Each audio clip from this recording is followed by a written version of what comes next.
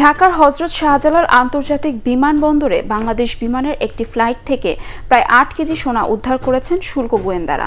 কর্মকর্তারা জানান, উদ্ধার করা সোনার দাম পৌনে পাঁচ কোটি টাকা।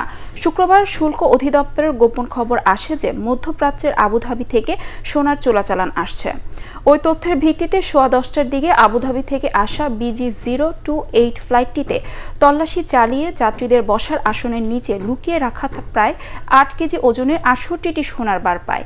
এ ব্যাপারে বিমানবন্দর থানায় মামলা হয়েছে।